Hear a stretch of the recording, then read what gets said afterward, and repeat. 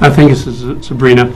In light of Middle East tensions, does the Pentagon support a United Nations-led military peacekeeping force in Gaza, West Bank, and throughout Israel? And have a follow-up.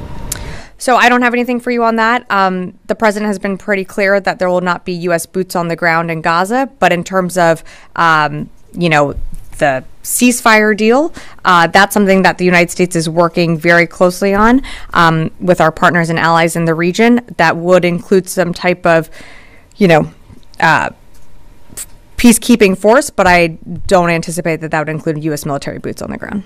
Well, in light of Hamas using the Philadelphia corridor in Gaza to smuggle in weapons and potentially smuggle out uh, Israeli hostages into the Sinai, Sinai Desert, it's according to Israel Prime Minister Netanyahu, what is the pi- uh, Pentagon's perspective on the strategic military significance of the Philadelphia corridor? I think you just mentioned some of the strategic s- significance of the Philadelphia corridor, but I'd really refer you to the Israelis to speak to that.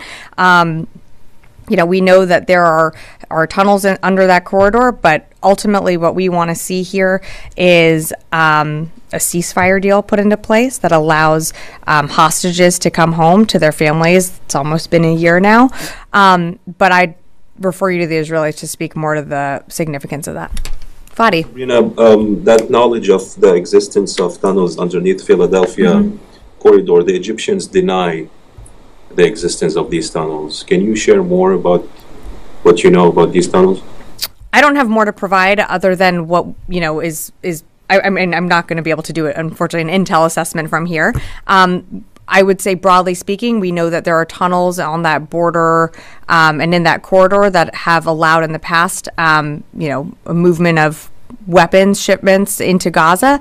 Um, again, what we want to see and what we are focused on, as as you know, um, is bringing home and making sure that we can get into place um, a ceasefire deal that also allows the hostages to return home. Uh, What is, what does, uh, you said broadly, is this based on recent intelligence or Israeli, uh, I don't know, sharing information?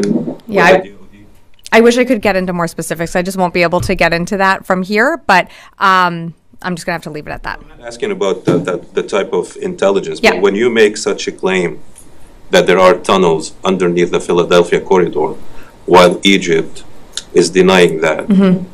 uh, I think um, some explanation is warranted here. Appreciate the question, Fadi, but I'm just not going to have more. I'd have to refer you to the Egyptians and the Israelis to speak more to that.